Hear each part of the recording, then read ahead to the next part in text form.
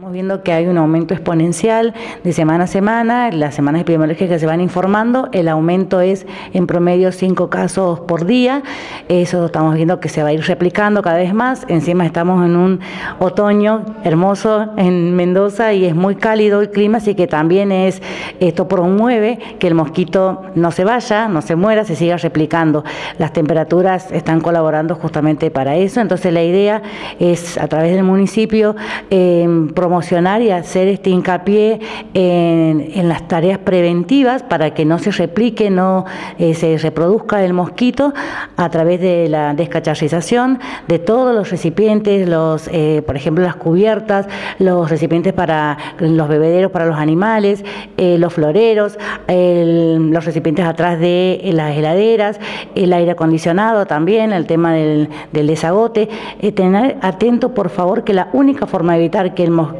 se reproduzca es sacando su eh, lugar de incubación, que es el agua limpia, estancada, no el agua podrida, no el agua, como uno escucha mucho que es, eh, no sé, hay bodegas que están abandonadas, que tienen piletones, que hay agua eh, podrida. En ese caso, en esos lugares no se replica el mosquito. Por protocolo, la provincia nos informa diariamente los casos positivos, entonces